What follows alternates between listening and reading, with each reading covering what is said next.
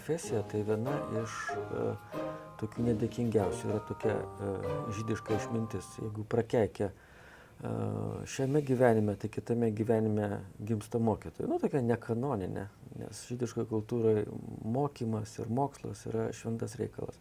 Bet suprantu, kilintą kartą kartoti vieną ar tą patį, įsivaizduokit. 30 mokinių ir tu sakai, Gabrielė Petkevičaitė bitė. Ir tą sakai 101 kartą. Ir supranti, kad nu, negali tu išgauti tos pačios šviežios emocijos, kaip pirmas įk perskaitęs. Ir ką vėl gali pasakyti, tik tuomet turbūt, kai susiduri su tokiom uh, išsigandusiai smalsiom akim, žvilgsniu, kuris dar iki galo e, nesuvokiantis, kas čia dabar bus ir kažkokią stygą bandai užgauti ir va, aš tai iš mokyklos laikų prisimenu tą neatsakingą požiūrį klasiai, sėdinčio į tą, kuris stovi ir kalba.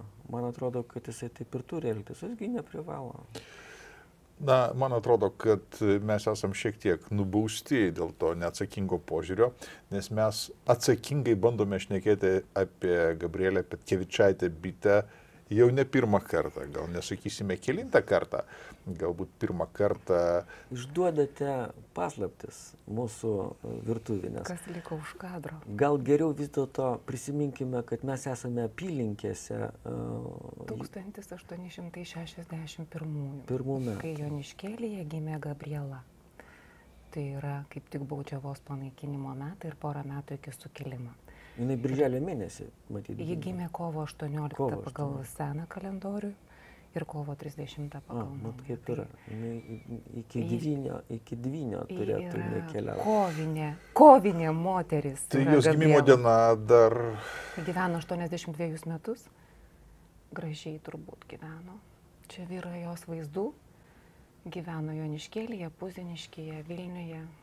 Ir yra įtraukta į uh, žinią mūsų mokymo programas. Taip, ir mes iš tų mokymo programų turbūt nepapuolėme į pirmąją laidą mokinių, kuriems mokytojai dar pasakojo užsidegę, įstringai, emocionaliai. Ir aš tai prisiminęs mokyklą, neprisimenu tos bitės mokyklą. Aš irgi, kitaip nei žemaitė, bitė yra tik bitė, gražius lapyvarčių. Buvo po ilgo buvimo kartu su Tomais raštų, dabar jau bitė yra ketvirtasis matyt dalyvis mūsų šito pokalbio. Ir kiekvienas iš mūsų turime ką pasakyti. Na taip, mes susirinkę į savotišką pataisos klasę, kadangi daugeliui e, iš mūsų, gal net visiems, e, bitės tekstas, apie kurį galbūt mes daugiausiai kalbėsime, tai yra romanas Ad Astra, yra perskaitytas pirmą kartą. E, Na, čia buvo kalbėta apie neatsakingą požiūrį, tai aš atsimenu ir dabar labai tyliai mm, atgailauju dėl neatsakingo požiūrio į mokytoją, kurie atėjo pavaduoti kažkada klasėje na, susirgusią, tai buvo jau senyva, senyva moteris ir jinai vat, pasakojo, kaip krevė jai dėstė. E, kita, kita vertus, aš atsakingai pažiūrėjau. Aš suprantu, kad mokytojas yra e, ir bus dar labiau prestižinė profesija. Taip, taip, taip, taip. E, kita vertus, aš labai atsakingai pažiūrėjau į, į moterį, kuri nebuvo mokytoja, bet jinai buvo mano giminaitė, kuriai Šetrijos ragana dėstė Marijampolės gimnazijoje ir rašė pažymius už namų darbus. Ten reikėjo išvardinti atliktus gerus darbus tą kart tų gerų darbų neatsirado, kuriuos jį galėjo prisiminti, tai jinai, jinai prisiminė vis dėlto galų gale, kad išgelbėjo gaidį, kuris įkrito į tokią, na, ne visai maloniai atrodančią vietą. Tiesiog. Su širdėlė. Būtų žavu, jeigu kas nors atsilieptų mokinys, kuriam dėstė Petkevičaitė bitė. Ar tai dar įmanoma, reikia pasiskaičiuoti. 1919 jinai pradėjo mokytojauti Panevežio dar... gimnazijoje ir tai buvo jos vienintelis valdiškas darbas gyvenime. Taip, bet jinai, kada e, jau baigė savo dienas, mirė 43-aisiais mhm. Panevežį, tai ji dar tenai prieš karą mokytojavo. Tai va. Ir kad dar galima. Na, o iki karo jinai buvo redaktorė įvairių lietuviškų laikraščių. Jo. Lietuvos žinių, man atrodo. Ji buvo Lietuvos žinių redaktorė, ji buvo pirmojo pasaulietinio tai- moterims skirto žurnalo redaktorė. O prasidėjo, aišku, viskas nuo varpo, bet būdama mokytoja ir jausdama stygių medžiagai, pati parašė literatūros istoriją, pasaulio literatūros istoriją ir ji irgi čia kažkur yra tarp šitų tomų ant stalo. Žodžiu, bitė šiaip jau yra tas autorius, jeigu galėtum pasimti tik nieko apskritai nežinotumė apie pasaulį, literatūros istoriją, apie Lietuvos istoriją. Ir tau reikėtų tik tai vieno autoriaus, tai reikėtų imti bitę, nes tai, ką jinai čia surašiusi, yra enciklopedija. O kulminacija, sakyčiau, lyrinė. Romanas Adastra dviejų tomų. O prasidėjo viskas, nepaminėtas dar buvo šitas žodis ir uždengtas yra baltų popieriaus lapų Tomas Varpo. Varpas buvo jos pirmasis, pirma, pirmasis, pirmasis laikraštis, jeigu taip galima sakyti. Ir pradėjo jį tenai nuo šviečiamųjų tekstų ūkininkams, bitininkams, nes ji buvo baigusi po savo tos privačios mergaičių gimnazijos Mintaujoje, buvo baigusi dar bitininkų ir ūkininkų kursus ir rašė patarimus ūkininkams. O varpas tai iš karto Kudirka, kurį lankė jį su grupelė Kauno inteligentų. Avižonis ten buvo, dvi seseris. Juškytės, Juškytės, dvi Juškytė. taip, Povilas e, Višinskis. Višinskis, kuris, e, apie kurį irgi dar vieną kitą žodį reikėtų tarti, nes manau, kad tai yra labai šviesi figūra lietuvių kultūroje. Vat, ne tik tuo metu, bet apskritai vat, viso to laikotarpio, e, nuo aušros iki, iki kovo 11. Tai ir vėliau. Tai e, vat, kudirkos lankymas man iš tikrųjų paliko didelį įspūdį, kai, kai tie žmonės važiuoja pačiupinėti ir pasižiūrėti į Lietuvos valstybę, kurios dar nėra, bet kuri jau kažkaip tvyro ore, nes pačiam tekste kažkuris, aišku, rašytas vėliau, e, tokia nu, apibraižos forma, e, kelionė, kelionė apibraižos forma, ten e, justi kaip, kaip e, kudirka ir, ir, ir tie jo bendražygiai jau yra pasėję. Pasėję želmenys, jie sudyja ir dabar nedidelė, nedidelė saujelė, bet aktyvių darbininkų ir darbininkių šitą, šitą to želmenys jau prižiūri. Tai čia tokia antroji banga. Bet Kudirka jau tuo metu yra pakeliui Anapilim, visiškai suvargęs ir susirgęs, bet Kevičaitė. Ir jis jau atvirai sako, Taip. dabar jau jūs tęsit, o Tai bitė ten dar sugebėjo, kaip pati savikritiškai save įvardina, nerasti tinkamų žodžių, pamatusi žmogų, kuris jau beveik išėjęs ir ant jo tik tai lieso tokio kūno ant rankos žėri tik stambus auksinis žiedas savo didelę briliantinę akę, o pats kudirka jau ten kažkur tai prasmegęs lovoje. Man regis jis ir, ir gulė, gulėdamas juos ir sutiko, gulėdamas užrakintas, nes liepėsi nuo žandaro šalia turbūt ploštelis labai plono popieriaus, kadangi užsirakinęs būdavo nuo žandaro ir kol jie laužtų duris, kad galėtų sunaikinti tą popierių, rašydavo varpui ant labai plono popieriaus. O Petkevičaitė bitė aprašo tą momentą, kaip jie jį pamatė ir reikia pasakyti kažkokius žodžius. Nu ką tu gali pasakyti dabar, kas, kas būtų tikrai tinkama tokiu momentu. jie jau buvo nemažai metų iš tikrųjų. Nu, jinai jau buvo. Bet ji vis tiek pasakė, ji pasakė, tamsta mums visiems pavyzdys. O kudirka atsakė, čia taip pusiau jokais, turbūt pavyzdžiui, iš manęs neimkite, gydykitės, kol ne per vėlų. 38, man atrodo, jai buvo tuo metu. Metai tai 89, 1898. 98. Taip, tai vat, nu, 1898 žandarai paskui tuos namus apsupo, bet kažkokiu tai būdu jie vis tiek liko laisvi, tai aš šiaip ir nesupratau ten tą priežiūrą, to kudirko saugojimas. Bet čia svarbu dabar, man regis, e, tų žmonių, kurie važiavo, sąmonė, kas išliko. Vat man regis šitas yra labai svarbus momentas. Jie tiesiog gavo, gavo tą imprintingą, e, pavartokime tokią savoką, tokį psichologinį poveikį, kuris lydėjo uh, juos, o ypač bitę visą gyvenimą. Kudirka laukė jų dar antrą dieną. Jis buvo įsitikinęs, kad jie ateis, nes jisgi nežinojo, tie vizitai slapti. Ir jisai buvo įsitikinęs, kad e, jie ateis, čia yra aprašyta, kaip būtinai susitiksim ir pašnekėsim, bet aišku, jie jau spruko nuo žandarų. Nors aš nežinau, kokia ten priežiūra buvo.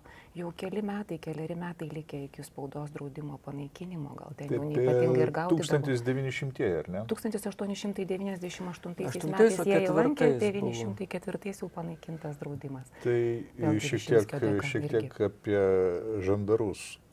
E, Tas suvalkijos erdvė yra tokia labai kompaktiška, ypač jeigu važiuoja automobiliu. Ir nuo to Kudirkos vienkėmio, kuris kažkada priklausė jam, netaip toli iki Domeikų vienkėmio, kur šiek tiek vėlesnių laikų žandarai buvo atėję ir ieškojo lietuviškos literatūros, išvertė iš, iš lovos e, mažas mergaitės.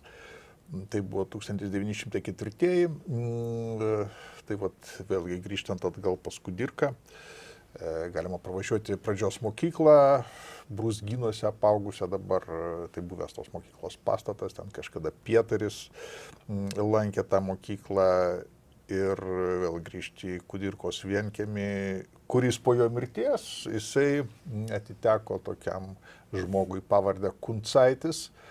Jis buvo Amerikoje šiek tiek prasigyvenęs šachtininkas, uždirbo pinigų, bet prarado koją. Jis nupirko tą Kudirkos ūkį. Mm, e, Viena iš kuncaityčių nutekėjo į domeikus, o kita pasiliko ir jau po gero, gero laiko, e, 1944-aisiais pasirodė kiti žandarai. E, NKVDistai ir tą kuncaitį vieną kojį ir mažas mergaitės sukrovė į sunkvežimį ir išvežė, o jų motina mm, slapstėsi, slapstėsi Rusija. Taip kad tas Kudirkos vienkėmis ten yra matęs visokiausių įvairių dalykų. E, Reikia pasakyti, kad e, rusiški žandarai, rusų caro žandarai, jeigu juos lyginti su vokiečiais, kurie pasirodė per pirmąjį pasaulinį karą, tai buvo tokie truputėlį pavėpę. Karo dienoraščiuose Petkevičiaitė bitė rašo, kad vokiečių tvarka buvo tokia, kokios nebuvo prie rusų. Reikėjo viską slėpti, žmonės skūsdavo vieni kitus ir negalėjo nieko pasitikėti. tvarką piktinasi, man susidarė įspūdis, todėl kad e, Vokietija jai labiau su kultūra asocijavosi, su lūkesčiai buvo žymiai didesni. Rusija, na, tokia tikrai e, šalis, iš kurios mokytis glūgalė. Visi važiuoja mokytis ten, į vakarus, tiesa. Ir, ir vat, mūsų aptariamo romano herojai irgi, regis, vakaruose baigė aukšt, nu, kaip ten aukštesniuosius mokslus. Bet e, Rusija taip, tokia truputį e, šalis, sakyčiau, e, nuo jos galima pasislėpti. Ir e, išsipirkti, ką išsipirkti, mes matome jo. romane Bet Adastra. nuo vokiečių ne. Ir jinai vat, su vokiečiais artimiau susidūrusi, pamatė, kad ta vokiška mašina, jinai yra pavojinga. Tai Jinai buvo yra- pasibaisėjusi elgesiu su belaisviais, rusų yra daug skyrusi tekstų karo dienoraščiuose.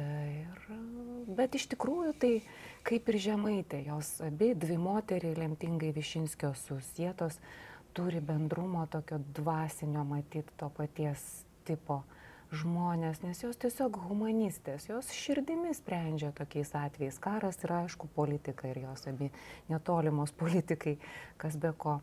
Bet e, kai reikėdavo padėti žmogui, jos spręsdavo širdimi. Eina rusas pro šalį, kuriam reikia pagalbos, jisai gauna Gabrielės pagalbos, reikia vokiečiai, gaus vokietis. Ir tas irgi justi iš jos tekstų karo metų. Tai jeigu dabar truputėlį ap- apžvelgtume, apibendrintume jos biografiją, gimė 1861, tėvai bajorai, žemaičių bajorai, jinai ne Petkevičiūtė, bet Petkevičaitė, todėl kad sakė, jog tėvas yra Petkevičia, todėl ir ta pavardė. Tik kai kalbė apie bajorus, reikia turėti omeny, kad viena iš močiučių buvo baudžiauninkė. Na taip, tai tas baudžiavos e, palikimas, baudžiavinis genas, jis matyt, galbūt pridėjo ir atjautos, nes kaip matysime. visos tos keturios moteris e, buvo bajoraitės, tiesa, turėjo bajoriško kraujo. Turiu menį žemaitę, Jo. šatrijos raganą ir lasdynų pelė. Todėl bajorų dalyvavimas tautinėme judėjime ir Lietuvomanijoje yra labai... Ir jinai tą funkciją, savo tą rolę labai gerai suprato, kadangi jos šiek tiek yra e, nutolusios nuo tos liaudės, vadinkime taip, nuo paprastų žmonių, kuriuos reikėtų apšviesti ir kuriems nešti. Tai ir misija tada suvokė visai kitaip. jos išskirtinumą savo suvokė kaip misijos e, dalį. Jis skaudžiai reagavo, e, gin, kažkaip kel, dažnai klausdavo ir tekstuose, grožiniuose, ir publicistiniuose, kodėl Lietuvos bajorai, kai kurie taip vangiai įsitraukė į lietuviškos, e, į, į Lietuvomaniją, į, į, tauti, į tautinės į valstybės konstravimą ir jai tas matyt buvo svarbu. Aš manau, kad Litvomanas iš tikrųjų buvo turbūt kaip impresionistas, ne uh, terminas, kurį sugalvojo patys. Čia yra iš šalies atėjęs terminas, šalies piktas atėjo. terminas. Taip. Ir tuoj pati bitė kažkur aš, jo, čia yra tai manijakai. Kol tu, kol tu e, pacituosi, aš... Kas yra Litvomanas pagal žemaitę ir bitę, tuoj surasiu. O aš tada cituoju, žemaitę. E, atsiprašau, bitę. Bet jį čia žemaitė čia. Taip, žemaitė šalia. Ponai buvo sveiki, ramus, sotus. Ne vienam iš jų dar neteko matyti tokio žvėrės, Litvomano, kuris užsimanė suardyti šios dienos tvarką, kuris eina prieš ponus, kunigus ir žandarus ir iš mužiko gyvulio nori padaryti visiems tiems ponams lygų žmogų. Va. O man pačiai teko girdėti sulyginant žmonių inteligentų ginčą Ar litvomanija yra tikybinė sekta, ar tik limpamoji protlygė, psichozė, tarp jaunuomenės siaučianti, čia svarbu jaunuomenė, nes kalbėdama apie litvomanus dvarininkus, bitė yra dastroje, irgi yra ta sužetinė linija, pabrėžia skirtumą tarp senosios kažkokios, tai senosios kartos dvarininkų, čia gal net nebūtinai amžius, ir jaunosios kartos, kurie tai tikrai supras litvomanijos reikalą. Aš manau, čia labai svarbus yra tie sukilimai. Ir ten va, romane yra tos cezūros labai aiškios. Yra tie, kurie dalyvavo, tie, kurie nedalyvavo. Kurie dalyvavo, jie buvo, buvo represuoti daugumoje, todėl kad atėmė dvarus ir atvažiavo jų vietą rusai, e, kolonistai. Ir, ir tada jie pato grįžo po kiek laiko e, iš Sibiro. Na ir romano Adastra heroja, pagrindinė Elzė Kesgailytė, va yra iš tokios šeimos. Tokios šeimos, kuri buvo ištremta, grįžo, dvarų jau nebegavo, ir, nebeatgavo.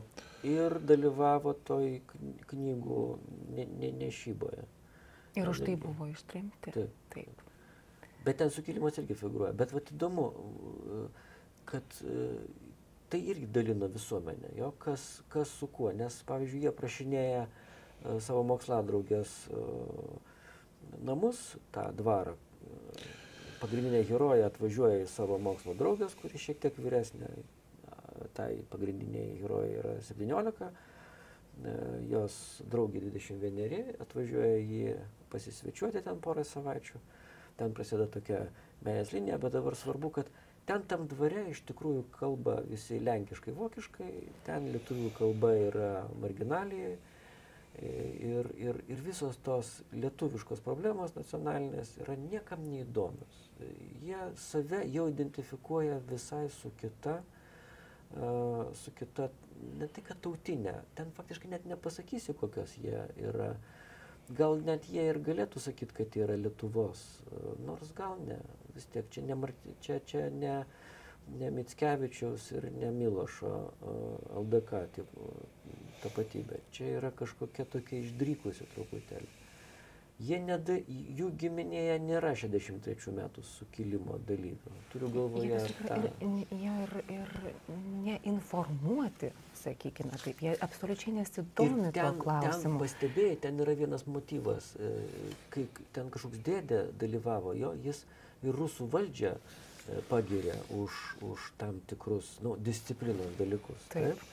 Ir ir supras, kad, kad jis yra, na, tos tokios imperijos uh, dalis suvokia save. Ne, tai jis tiesiogiai tas žmogus, jis uh, atsargos pulkininkas, jisai uh, carą Nikolajų I labai gerbė, o tuo metinį carą, tai yra Aleksandras III, vadina visokiais, visokiais užgauliais žodžiais. Mm, ir jis yra tos Nikolaiškos tvarkos šalininkas, kada, kada žmonės varydavo per reikiuotę, muždavo ir taip, taip toliau. Ir ten yra konfliktas e, jaunuomenės ir, ir, ir to lūpučio dudučio, taip vadina tą, tą atsargos pulkininką, nes vis dėlto veikėjas Donatas jisai piktinasi, kad taip negalima elgtis. Bet kadangi mes jau pradėjom kalbėti apie romaną, tai reikėtų gal truputėlį kažkaip punktyrų nužymėti jo siužetą, nes matyt, toliau, toliau šnekėsim apie, apie šitą veikalą. Nu, porą žodžių. Aš jau čia pradėjau, kad viskas prasidėjo nuo, nuo to uh, vizito. O, ji važiuoja Taip. traukiniu, ją sutinka stotyje, puikus ten gražus vaizdas aprašomas, kaip, yra, kaip susiduria tos dvi draugės. Jie atsidūrė tam dvare, matyt, kad galvoja apie keletą savaičių, taip jau galima Išbuvo įsivaizduoti. dvi savaitės. O, o uh, baigė jinai kažkokius aukštesniosius mokslus, nekonkretizuota kokius, uh, Europoje taip galima nuvokti, aš įtariu, kad tai yra Vokietija. Ir ji yra, na, sakykime, tarp mokslų. Jo, čia yra vasara ir paskui tie mokslai regis tęsis. Paskui ten kalbam apie universitetą, matyt, kažkur jisai tolumoje Nu, tai švyti tokia, tas universitetas. Brendimo laikotarpis. Jo, dar yra, e, žinai, tokiam tranzitinėje zonoje tarp, tarp mergaitės ir merginos. Vyksta kažkokia tokia jausmų Bet nereikia kristalizacija. suklaidinti, romanas tikrai nemoteriškas. Ten yra žmogaus branda labiau negu tarp mergaitės ir merginos. Sutinku, sutinku. Ten Mes daugiau... esam kalbėję apie tam tikrą visiškai Bet stabilų asmenybės lygmenį. Taip. Ne, tik įdomu tik tai, supranti, kad kad ji kodėl yra- mergina, galima gi pasirinkti herojų Ir ir, tai ir, ir jaunuolį. svarbu. Tai... Bet aš manau, kad bitė samoningai pasirinko merginą dėl poros priežasčių. Pirmiausia, jai tas moteriškos problemas buvo labai artimas. Jis iš tikrųjų su tuo vadinamoju feministiniu judėjimu, ten tuomet dar buvo truputėlį kitaip negu dabar. Moterų, lietuvės moters padėjimas šeimoje ir Tai visuomenėje. jinai buvo tai susijusi ir buvo aktyviai ten dalyvavo tose reikaluose. O antras dalykas, aš manau, jinai kaip rašytoja suvokė, kad e, vis tiek mergaitės siela jautresnė, nu sakykime taip. Ten įvairūs tie subtilūs judesiai, ypač kada paliečia ją, kaip, taip bitiškai pasakysiu, pirmieji saulės spinduliai paliečia sielą. Ir tie meilės saulės spinduliai, ir jinai staiga pradeda raibuliuoti įvairiom spalvom. Ir ten tą raibuliavimą jį bando ir aprašyti. Ir, ir eina iš puslapio į puslapį va, tas va, e, gražus serialas. Beje. Kaip gražiai ga, galima būtų parodyti įvairiuose situacijose tą brestančią sielą. Na, siela, jinai yra ir savai brandi. Viena vertus, Donatas, matyti, yra vienas iš, iš tokių pirmųjų mm, jos mylimųjų, tai yra rimt, rimtas jausmas. Tai reikia patikslinti, kad mes prie to Donato dar nepriviravom. Jisai yra sužadėtinės jos Draugės Severos. Taip. kurį jį pirmą kartą ir pamato ir uh, galima daryti išvadą, kad jinai iš karto įsimylė. Taip, meilė iš pirmo Ir žvilgsnio. Ten buvo Ir iš abipusis- karto užgniaužia, gniaužia savo jausmą, nes jinai e, jaučia pareigą e, neužkirsti jos draugiai kelio į laimę. Ir tuo pačiu per visus du tomus gana aiškiai parodo, kad tai severai nebūtų jau taip ir sunku iškesti išsiskyrimą, bet jos ambicijos būtų pažeistos, kadangi jį tai kaip aš atrodysiu prieš visus. Labai aiškiai save apibrėžia, nepriklausomai nuo to ten, jai labai brangus tas jos draugės santykis ar ne, bet jinai vis tiek Taip. nenori užkirsti kitam žmogui kelio. O čia visiškai kitas santykis nei dabar. Nekovoti dėl vyro arba dėl moters, taip? O ką dabar visi kovoja? A, dėl jūsų ne? Ne. E, Na, Mes ne tą pašnekovę pasi- leiskite, leiskite šiek tiek įsiterpti. E, e, Aš jau Aš minėjau, penkis kad man įsiterpti. Tai tu įsiterpsi paskui. E, Aš jau minėjau, kad e, Elzė, nepaisant to, kad yra tam tikra raida, e, Donatas e, ir visa tai, kas, kas seka po to, mm, o po to seka tam tikra vidinė kova, e, tai yra vystimas, judėjimas. pareigos, Taip, bet jinai kaip, kaip moralinė būtybė yra pakankamai brandi. Ir pačioj pradžioje romano yra pasakojimas iš mokyklos laikų, kaip jinai paprotino draugę Rusę, kuri pabėgo, nuvyko pas mokytoją, kurį jinai įsimylėjo, tą mokytoją irgi Rusą. Ir tas mokytojas paaiškino, kaip reikia jaunai merginai elgtis. E, Visų pirma, nenešti pačiai gėlių. Ne, Va nes čia taip tai pačiai buvo. giliu aktos rusės, man norėjusi pažymėti paraštei, nes vat, tu- rusai, rusų tas gaivalas, jis vat, kažkoks toks, toks yra. Juos galima papirkti, merginos rusės važiuoja pas mokytojus. Su gėlėm. Su gėlėm, bet e, tas mokytojas galų galę pasiunčia ją pas, pas. Tikrai? Gėlė, šio, šio romano gėlė yra radastas, mes prie jo dar grįšim. Kokių gėlių ta, ta klasės draugė neatsimenu. Nusiunčia mokytojas pas Elzę, kad Elzė paprotintų. Taip. Ir ta Rusė, labai rusiška maniera, gyvena nepasakius, kiek ji bus, gyvena, gyvena, gyvena, bet vis dėlto... Elzė... pamoką jinai. Taip, bet Elzė jai įkrečia proto, tai jau pačioj pradžioje. Ne, kurgi įkrečia, išvažiuodama jinai pasakė, kai jau nuspręsiu būti kokia surūkena senė, tai pas tave atvažiuosiu arba prisiminsiu tavo mokymų. Neklimkite smulkmenas, čia... E, Taip, o, o nesmulkmena šitame meilės romane, sakykime. Elzės programa užduota iš anksto. O kodėl? Jos pareigos programa. Taip, bet būtent čia va, dar nebuvo Donato, o tą liniją jinai laikė. Ir atkreipkite dėmesį, meilės romanas, aš tai taip vadinčiau šitą knygą, nors čia atseit jau labai. Meilės Lietuvai. Meilės papročių, meilė Lietuvai, kadangi tėvinė mylėti yra pareiga, kaip dabar nuolatos diskutuojama. Čia yra labai svarbi meilės sužetinė linija. Tas ideologinis dėmuo Adastroje be abejo yra, kitaip turbūt tais laikais rašyti nebuvo galima ir bitė jį pristato kaip savo ideologinį, kad pagrindinis motyvas parašyti šitą romaną buvo ideologinis jie taip sako, bet dabar skaitant šitą romaną tas meilės sužetinė linija yra labai ryški ir aš tai vadinu meilės romanu, kuriame nėra žodžio meilė. Jis yra paminėtas gal tik tai kokį porą kartų ir tai tik tada Elzė sako šitą žodį, kai kalba su Severa ir bando Severą atvesti į protą ir pasakyti, jai džiaugis, važiuok, kokią tu gražią meilę turi. O pati jinai vartoja žodį siela visą laiką kalbėdama apie savo jausmą ir niekaip kitaip neįvardina, net yra sakinys kažkaip to, kas ko nelemta turėti kažkaip tai, kas netikėtai priartėjo ir vis tiek ne, ne, nebus, tai nereikia ir jokių žodžių įvardinti. Taip jinai yra kažkur pasakiusi vidury savo. Meilė kaip slėpinys. Laikosi. Taip, čia yra romanas apie meilę be žodžio meilė. Ja, tai aš galbūt trečią kartą jau iš eilės papasakosiu šitai draugystėlė istoriją, kaip aš važiavau traukiniu Klaipėdą, skaičiau romaną Adastra, pasirodo, aš dar spėjau ir e, žinutę pasiūsti tau atrodo. Kolegoms taip. Kolegoms taip, kad Adastra veža kartu su traukiniu mane, šalia sėdėjo panelytė, kaip aš nustačiau 13-14 metų, jinai žaidė su išmaniuoju žaidimu, telefonų žaidimą, aš vis žvilgčiau per petį. E, visą laiką kartojosi situacija, kai pasirodo ekrane telefono vaikinas ir mergina, jie piešti, reikia užpildyti tuščias vietas, įrašyti jiems kažkokius tai žodžius, matyt patekti į aukštesnį lygį ir tada jie pasibučiuoja. Paskui man pavyko išsiaiškinti ir to žaidimo pavadinimais vadinasi Idle Heroes, tai yra dikinėjantis herojai. Susidomėjau žaidimais, kuriuose e, mylima gražiai, romantiškai, pasirodo, kad jų nėra tiek jau daug, kur meilės, e, meilė jausmai, meilės kalba parodyti realistiškai yra aprašyti žaidimų vienam iš tinklalapių. Ir aš pagalvojau, kad e, romanas Adastra tai jis labai skaitmenizuotinas, jis prašosi kažkokio tai filmo, filmo galbūt žaidimo. Juolab, kad yra daugybė vietų, kurios yra visiškai neaiškios. Ir žaidėjų galima pasiūlyti vieną, du, tris, keturis atsakymų variantus. Ir aš tikrai nežinočiau, kaip elgtis.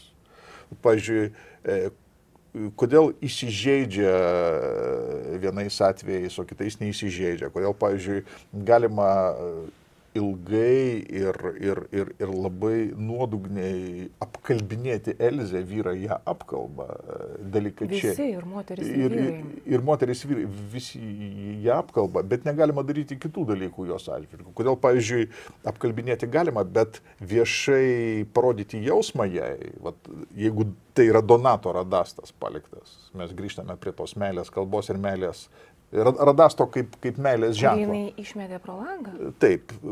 Jis ten kelis kartus figūruoja. Skrido. Bet ir jinai savo jausmą slepia, o visi šnipinėja. Tas pulkininkas, lūputis, dudutis, be ne įdėmiausiai ją seka. Taip, pačioj pradžioje romano kažkaip iškart pasako Severui, kad... Aš tai supratau Ramu, uh, Arūno uh, šitą istoriją vat, su išmaniuoju, kad skaitmenizuoti dabar tie jausmai skaitmenizuojami, jie padeda susivokti juose. Taip, tai be abejo. Per kompiuterinius žaidimus galima suprasti, e, kas myli ir už ką. Tai lygiai taip pat galbūt per tekstus anksčiau tokius galima buvo suprasti kaip Ožiškienės, ten irgi knygos figuruoja, va, mhm. autorė, kuri rašė myliu, nemyliu tuos tekstus, tai vadinamasis moteriškas romanas.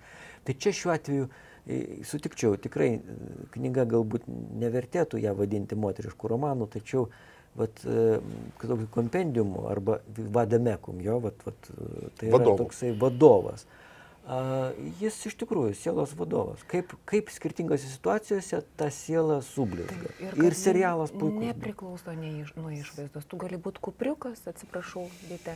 Gali būti Elzė, kur kas antrą puslapį visi aikčioja nuo tavo grožio, o sielos programa nuo to nepriklauso. Sako netgi kunigas vėlgi, kas leisna, kas neleisna. Kunigas, jis aptarnėja jos grožį, sako, aš jūs vyrai suprantu kriketo, pažaidus kriketą, ten ta, tas visas e, yra, kaip sakant, ta senelė, kur tie vyrai išnekasi apie ją. Tai daroma taip įkyriai, kas antram puslapyje dviejose tomuose. Kaip nežemiško grožio. Bet, pavyzdžiui, vėlgi, kas leisna, kas ne. Vokietis Šofas, kuris parašė jai laišką, tas jo laiškas viešai mm. perskaitomas, Ir tai galima daryti. Ir jis ten paskui sulėjamas citrinos rūgštim. Bet prieš tai jisai ten iš jos viešai šaipėsi, o ji tokiu būdu jam atsako. Taip, bet irgi turbūt negražu, čia patyčių kultūros. Taip, e, elementai. įdomu, jinai kartais įsijungia į tą kultūrą, kuri jai svetima, tą visą laiką pabrėžia bitė, kad jai čia yra vargas, darbas toks bendravimo būdas, juk laimingiausia atrodo yra ten tarp sodiečių, kai laužai dainos, tarp paskui su studentais, kai galima kalbėtis čia... be maneringumo, ką vienas iš tų ukrainiečių pavadino gera frazė, yra kultūros chlamas. Jis gal turėjo omeny, kai ten kalbėjo apie visų brolybę lygybę, kad ji, kad, kad, kad ji lengviau ateitų čia į mūsų žemės, jeigu žmonės neturėtų galvoje to kultūros chlamo, turėjo omeny prietarus, sulominius matyti. Bet tą patį kultūros chlamo terminą turbūt ir čia galima pritaikyti taikyti. Visas tas manieringas, poniškas bendravimas Elzai mm, varginantis dalykas, bet ji puikiai tą daro. Kai Taip, jinai puikiai, jinai puikiai palaiko pokalbį, yra šmaikšti, beje gerai šaudo. E, Taip, nes jį auginta sukilėliu ir viskam ruošiama. Aš tada jums leidus paskaitysiu ištrauką, e, kurioje bitė atsiskleidžia kaip Arizė. Portretistė rašytoja. Ir šiuo, atveju, ir šiuo atveju kalbama apie savotišką Elzės konkurentę, kuri, mm, žinodama, kad Elzė yra labai graži ir matytas garsas apie jos grožį sklinda, jinai nusprendžia nesirodyti viešai, nes jinai pralaimėsianti ir todėl guli lovoje. Ai, prietemoje. Prietemoje. Ja, tai jums leidus aš perskaitysiu ištrauką, mm, kur atsiskleidžia bitė kaip portretistė, sakyčiau, jinai aprašo moterį, Mm, e, savotišką galbūt Elzės konkurentę arba įtikinusią save, kad Elzė gali su ją konkuruoti ir, ir pasislėpusią mm, mėgamajame kur priima svečius. Svečius gulėdama. O, priima taip, svečius gulėdama mm, prietemoje. Tai toks, toks. Uh, toks štai aprašymas ilgesnis. E, tarp žemučių minkštų kėdžių, apmuštų taip pat rausvų audeklų, buvo išblaškyti nedideli apvalūs staliukai paauksintomis kojomis, baltais marmuriniais viršais. E, dar daugybė įvairios formos baldelių išliejosi pasieniais arba šioje sloje stovėjo, lyg netyčia pablokšti, keldami jaukumo, draugę ir nepaprastumo įspūdį.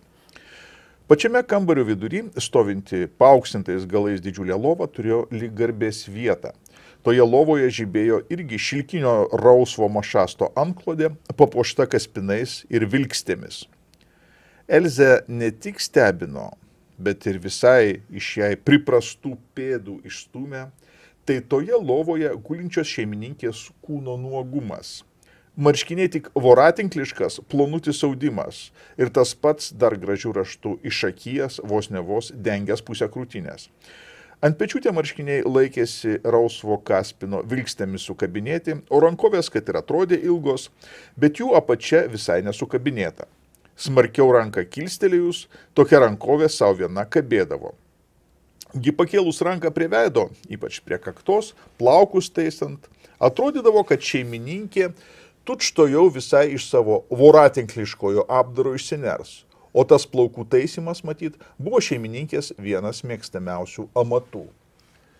E, bitės akis skvarbi, žvilgsnis aštrus, e, galbūt e, tie įspūdžiai per daugelį metų matyti dvarų aplinkoje paskatino ją parašyti vaižgantui tada, kada jau bitė buvo steigiamojo Seimo narė, kad galbūt reikėtų kažkaip varžyti e, moterų teisę rodyti su šilkinėmis koinėmis, nes su tomis koinėmis jos galinčios pridaryti kažinko, kitaip tariant, jų įtaka bus didesnė. Tekstas tikrai stabus, labai graž, gražiai yra uh, sudėliota. Aš vis dabar galvoju apie žemaitę, uh, pas ją žymiai sunkesnis, toks sodresnis, daugiau žemės tam tekste. Pas bitę daugiau yra tokio kalbos jausmo, tokio dainingumo.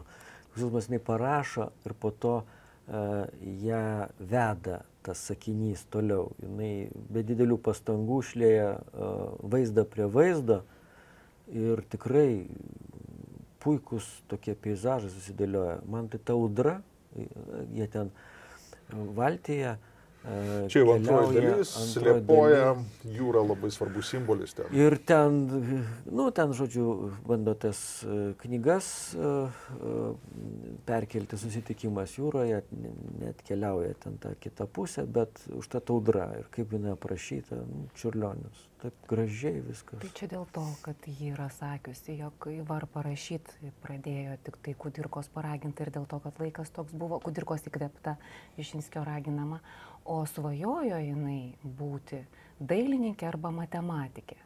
Ir jos jaunystė ir vaikystė yra tokia paradoksali dabar situacija, turint omeny, kad mes kalbam apie Varpo redaktorę, Lietuvo žinių redaktorę, moterų žurnalo redaktorę ir visai kaip viso ko prirašiusią moterį, tai jinai buvo ta, kuri jaunystėje ir paauglystėje vengdavo laikraščių skaityti.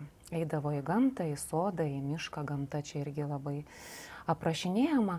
Aš dar, kadangi kol mes nenuėjom nuo aprašymų temos, irgi pacituosiu, e, kas tikrai iliustruos, jog bitė norėjo būti dailininkė ir pati yra sakiusi, kad bet kokį vaizdą, kurį aprašo, jinai e, remia, re, re, re, remiasi regimuoju kažkokiu vaizdu. Tai kitaip sakant, tai pirmiausia yra akis.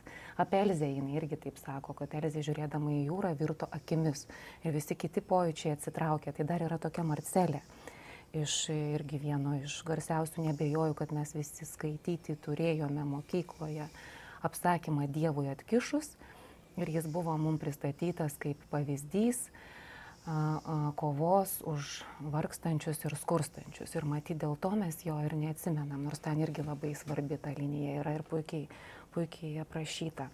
Bet ten yra tokia veikėja Marcelė, kuri man regis irgi yra bitė kaip ir Elzė. Ji yra dvarininkaitė, gyvena su savo brolio šeima. Brolio šeima pavaizduota ypatingai darniai ir tarp kitko irgi labai graž, gražus ir labai paveikus meilės tekstas aprašant šitą, šitą šeimą.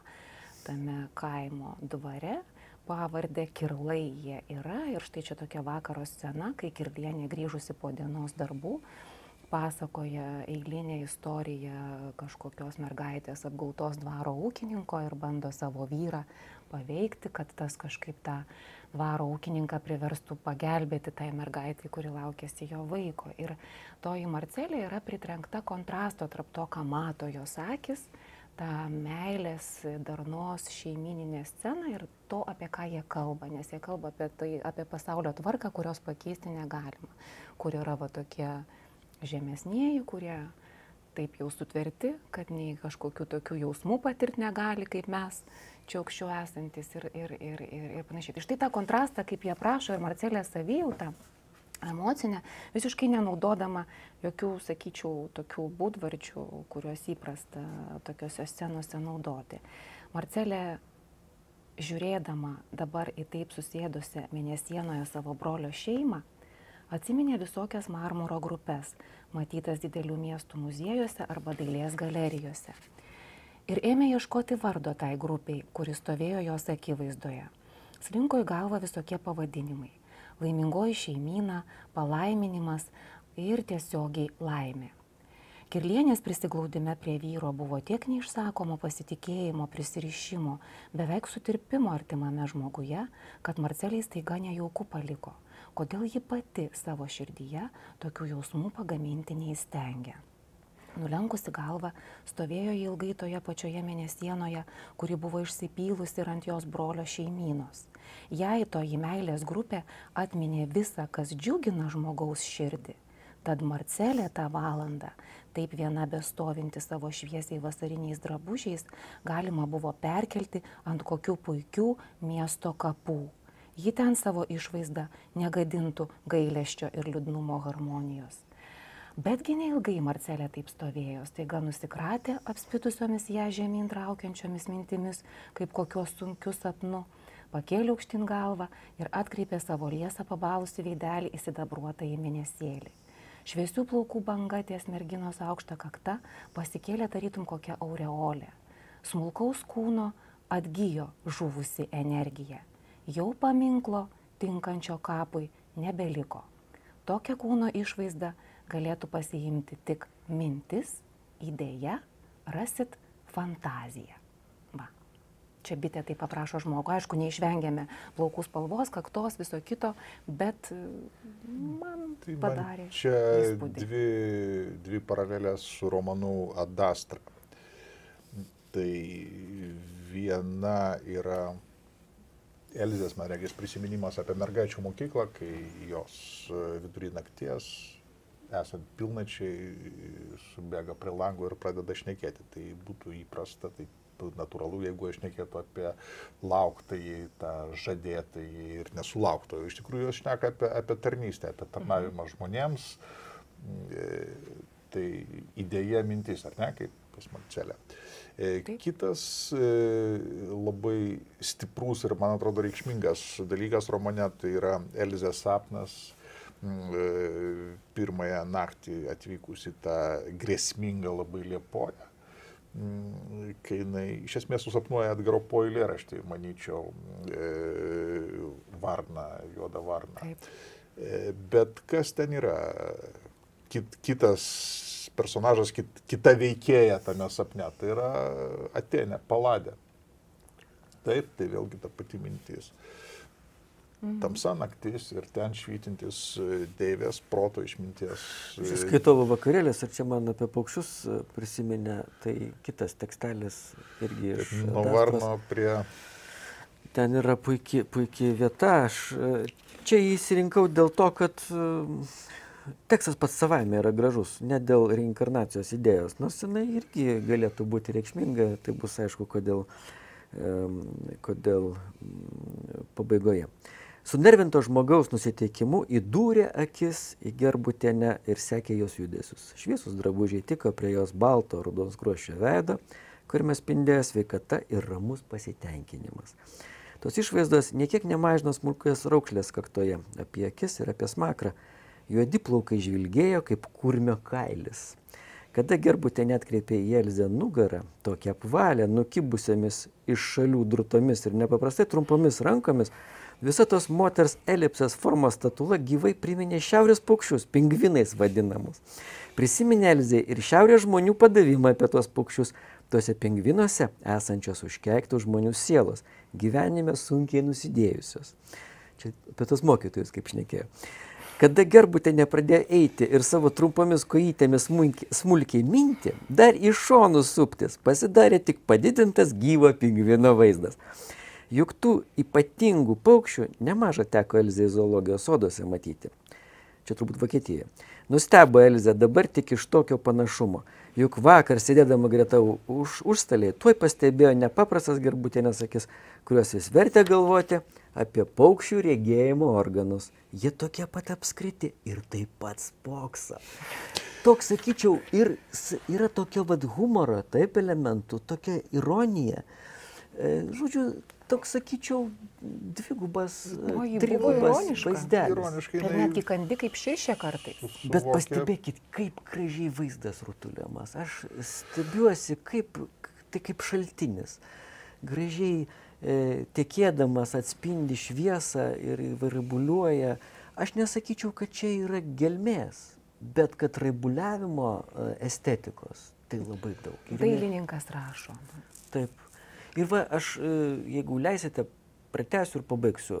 Mano įspūdis apie jos tekstus, nemanau, kad ji būtų priskirtina prie tų rašytojų titanų, taip, tų e, žmogiškos sielos žinovų, kurie į tą tuštumą įsižiūri, taip, kaip sieloje užgimsta vertybės, po to jos subyra, atsiranda vakumas, tokia, to, tokia tamsi praraja. Raskolnikovo, a, tik tai kirvis žypsijoje ir vėl naujos vertybės iš lego kaladėlių dėliojasi. E, Bitei šitie dalykai, jie galbūt ne tiek artimi, E, jie orientuojasi į tą paviršiaus raibuliavimą. E, Taip, ten yra ir, ir mėginimas apie tas vertybės pašnekėti, ir pareigos, kaip jau šnekėjome, ir, ir jausmo konfliktas, bet tokio gelminio, egzistencinio susidūrimo jėgų nerasi. Yra Dastroje. E, Ten iš tikrųjų būtinė e, jausmų kultūra daugiau užgožia, galbūt nuojauta man e, kužda. E, Yra tų egzistencinių kolizijų, bet kad staiga būtų va, tas va, pasaulio subirėjimas į dalis, tai to aš esu, to, to pasigendu. Tikrasis rašytojas, jis, nu kaip tikrasis, vėlgi čia sąlygiškai. Bet va, tie didieji meistrai, jie parodo uh, mirtį gyvenime. Vat, gyvenimo vienas iš epizodų labai reikšmingų yra mirtis. Gal būtų trečioje dalyje? Ketino rašyti, Gal, bet bet jinai, čia yra dar vienas dalykas, čia yra tokia, nu, pase, vis dėlto visuomeninkės, e, socialinio veiksmo aktyvaus mentalitetas. O šitie žmogus, žmonės paprastai būna pozityvūs. Jiems e, vis dėlto va ta tokia savigrauža, ta egzistencinė tuštuma, jiems dažnai būna svetima arba jie bėga nuo jos. Vat kaip Į ten tarnystę. bėga, taip, į tarnystę. Į tarnystę, O taip. tarnystė pozityvus yra momentas. Ir vėlgi, čia grinai subjektivu, man šito šiek tiek trūksta. Ir aš galvočiau, pas žemaitę to tragizmo yra daugiau, nors jisai nėra taip išreikštas. Jis yra toksai, na, e, nu, toks sunkesnis. Bet ten kartais tu susiduri su tokiu beviltišku e, e, aprašymu, tiksliau beviltiškos situacijos, kad supranti, kad jau viskas, va čia yra mirties zona. Katrė aš pamenu, ne? Jis pasižiūri į tą gyvenimą, kuriame ji atsidūrė ir supranta, kad tai ne gyvenimas, tai jau pabaiga. Ir reikia dabar kažką daryti toje pabaigoje. O ta pasbyta daugiau pozityvumo, bet mažiau egzistencijos. Mat už tai mylima panytė bitė. Bobutės tekstų jos taip viena kitą su žemaitė vadino. Laiškus taip prašydavo mylima panytė, pasirašo bobutė. Nesiryštų turbūt perrašyti, yra toksai epizodas. Jį Povilui Višinskiui dar kitiems studentams a, sako, kad žemaitė yra geriausia rašytoja, jai atsako kaipgi Šatrijos ragana, sako, čia pat galiu parašyti tokį patį tekstą kaip Šatrijos ragana, neatsitraukdama. Ir parašė, širšiškas toks poelgis, sakyčiau, čia bitės buvo, o kodėl tavęs čia nėra. Tarsi perrašė savaip, bet kad niekas nesuprastų, kad čia kito rašytojo plunksna tokį nelaimingos meilės istoriją. Apie žemaitę pasakė, kad jinai nepakartojama. O kaip galvojate, jinai galvoja, kad jinai rašytoja, ar ne? Kad, Bitė? jo, kad jinai eis į kultūrą, į tą literatūros istoriją, kultūros istoriją, kaip rašytoja. Nes jinai užsiminėja vėliai kuo, pačiais įvairiausiais dalykais. Iš tikrųjų, jinai turbūt gyvenime save labiau pozicionavo kaip visuomenininkė, visuomenininkė. Kaip sakiau, ji yra sakiusi, niekada neketinau rašyti. Rašyti pradėjau tik paraginta, nes reikalas toks buvo tuo metu. Galvojau. Ir tas kultūros vadybininkas Višinskis viską taip, čia taip, padarė. taip, taip. Ir žemaitė irgi. Ja, tai kadangi mes dabar jau kalbam apie ją kaip apie rašytoją, tai aš siūlyčiau grįžti prie romano Adastra, štai kokiu kampu.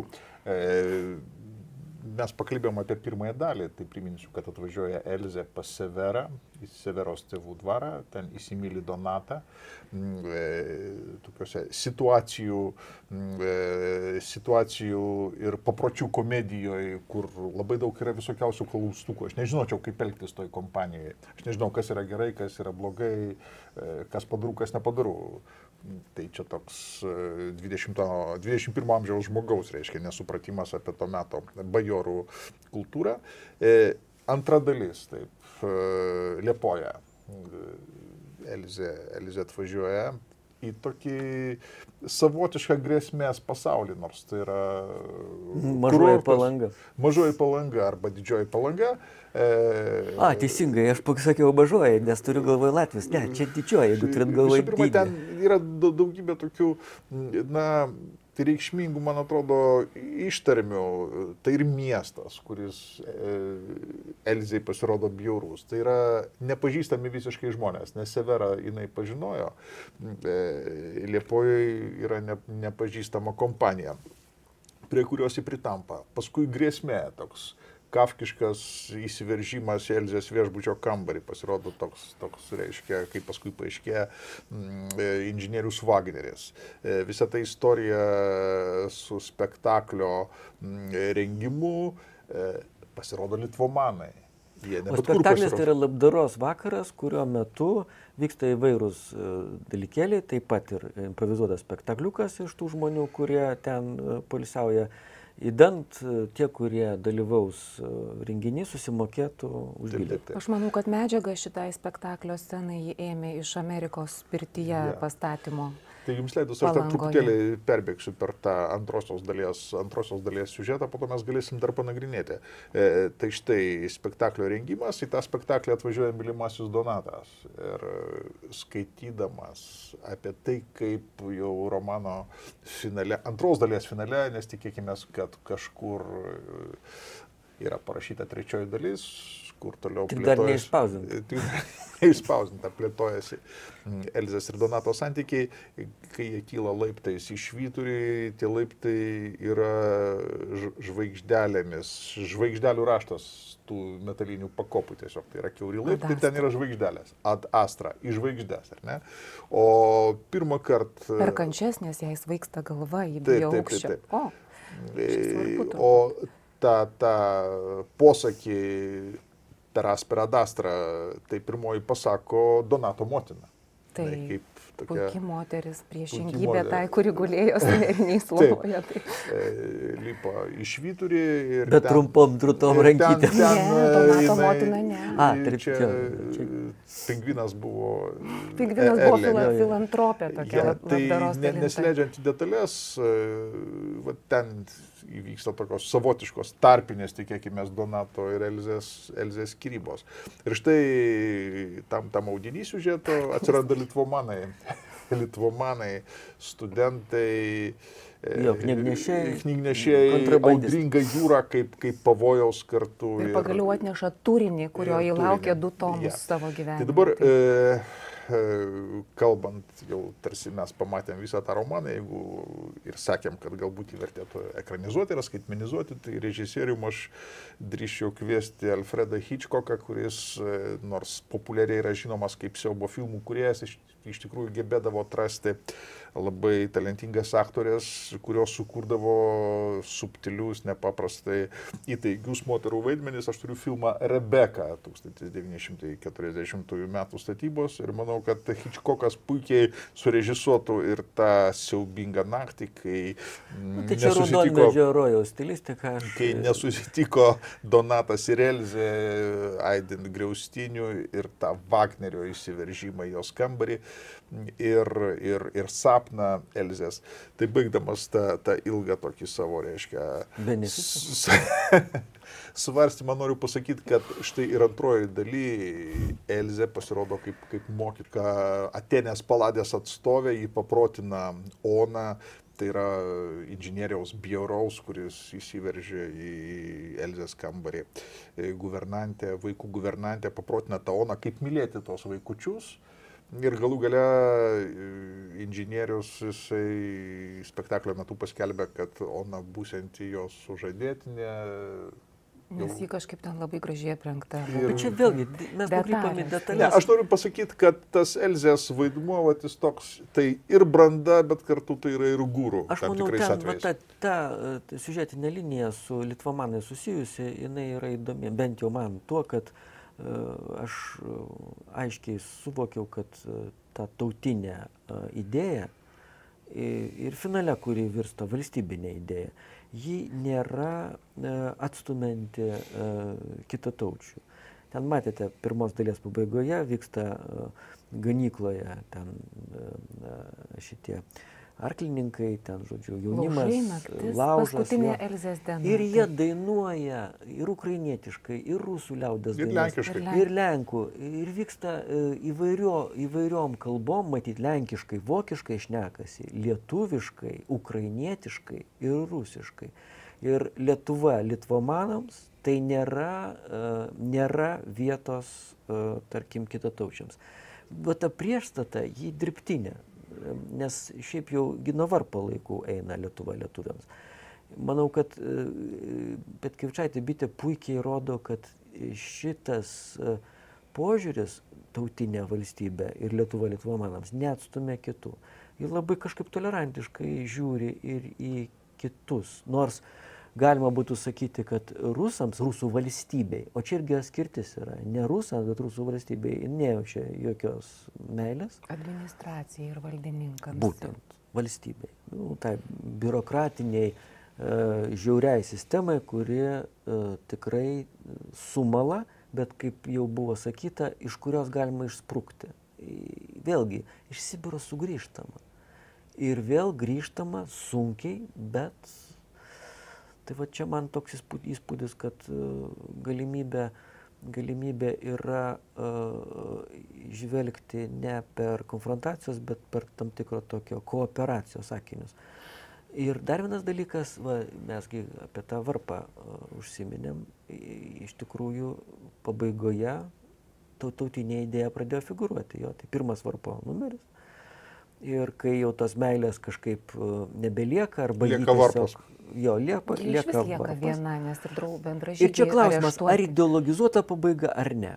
Aš manyčiau, Būtina kad tuo metu turbūt pabaiga. ko gero, bet ten, vat jeigu du jauni žmonės, vietoj to, kad kalbėtų apie juos siejančią aistrą, kažkokį santykį, pradėtų kalbėti apie varpą ir taip toliau, e, apie e, lietuvių tautos išlaisvinimo bylą. sukilimą buvo tenai jų Bet, bet tema. e, pagrindinis herojus, nu, herojus tai yra tas jau jos išrinktasis, e, sakykime, tas pasija, jis nepuola uh, tapti herojumi, tikruoju, tuo jau kovojant, Nu, jis šiek tiek nesubrendęs, jis net, net Ne, ir jis prasikaltęs. tiesiog, jis tiesiog ir papasakojo, kad koegzistencija su administracija nėra jau toks blogas, uh, bloga Bet jis išeitis. remiasi sukilimo pasiekmėmis. Jam atrodo, kad jie nebūtų buvę sukilimo, dabar nebūtų tiek atimtų žemė. bet aš manau, bitė pabandė, bitė pabandė išspręsti nesentimentaliai pabaigą. Nes jeigu staiga jisai parodytų esas didysis Lietuvomanas, irgi toks pat kaip ir ji, Nebūtų ir jie kartu susijimtų rankomis ir kalbėtų apie e, tarnystę, tai mes nematytume meilės ir e, emocijos. Gražu, Vilija irgi norėdama įsiterpti, turi įvairius specialus ženklus. Aš tai tiesiog įkvėpiau. O aš jau iškvėpiau. Teskite. Ji pabaigė taip, kaip pradėjo. Ji pradėjo rašyti apie merginą, kurios draugės aplinkui kalba apie meilę ir įsimylėjimus, o ji ne. Ji niekada nebuvo to patyrusi, ji visą laiką ieškojo gyvenimo turinio jos irgi, bet ieškojo ir kitų dalykų. Kaip ten Severa ją apibūdino, tu nebejausmė, kažkaip kitaip pasakė, tu išskirtinė, turėdama omeny bejausmė. Meilė ją ištiko netikėtai, bumt ir viskas. Ir galiausiai ryšosi, ryšosi visą tai ir labai nuosekliai pradžia susijusi su pabaiga. Jai liko gyvenimo turinys, varpas. Ir mes vėl grįžtam prie bitės, ji kitaip negalėjo parašyti turbūt to. O netikėtai meilė e, ištikusi, kaip pas Bulgakovą, iššokusi tarpuvartėje su pėliu, tai ji taip pat netikėtai ir pradingsta, ar jinai tiesiog pasislėpia? Ne, ne. ne, ne vat būtent ta netikėtai nepradingsta, bet tam yra valia pas bitę. Bandyti tą meilę uždaryti narvelį. Taigi ir gana dirbtinai, nes kam tada reikėjo, tada reikėjo rodyti Severą, kuri myli tą O jos Donatą. gyvenime buvo meilė, kurią ji uždarinėjo. Jūsgi žinote, kad visi kalba apie Povilą Višinskį, bet ne taip kaip apie Žemaitę ir Petrauską, kur yra išlikę laiškai. O čia va, kolegė mūsų literatūros specialistė sakė, kad dėstytojai universitete pristatydavo jų santyki kaip meilės ryšį. Bet aš nežinau, čia tik gandai. Višinskisgi buvo tas, kuris pasakė, istorikų sąmoningai nekūrė šeimos, nes inteligentui besirūpinančiam tautos ir valstybės statybą šeima trukdytų. Višinskis iš tų, kuris neieškojo lietuviškai kalbančios moters kaip kiti, o pasirinko būti vienas, bet nuolatinėje draugystėje gavo. Niekas nežino. Bet kad ji galėtų kažką...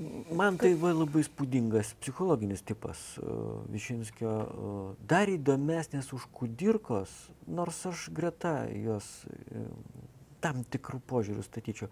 Aš pamenu Jūrijos Lotmano yra paskaitose uh, svaigi mintis. E, Esą mes suprantame, kad reikia saugoti architektūrinius paminklus. Architektūra, paveldas tai yra tie dalykai, kurie uh, mums liudyja tikrą mūsų pačių praeitį ir juos matydami mes su, sugebame susivokti savyje.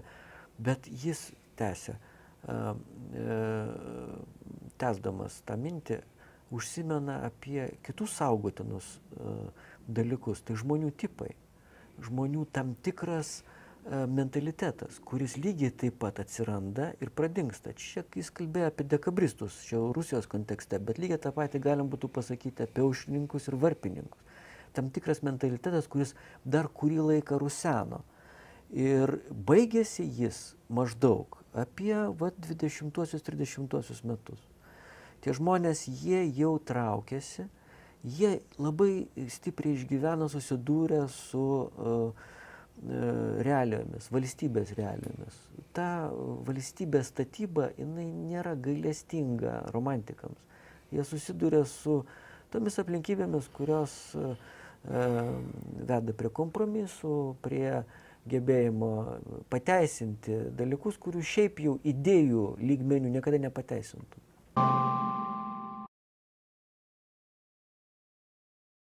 Aš tai va atsimenu, kai Parūnas e, šaukė, kalbėdamas apie žemaitę, aš ją myliu ir galvau, koks artistiškumas ir šioks toks nenuširdumas, nors žanrui laidos tinka.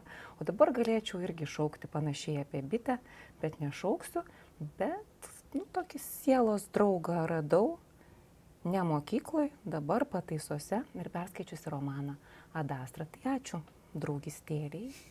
Buvo Ačiū malonu. draugystėliai.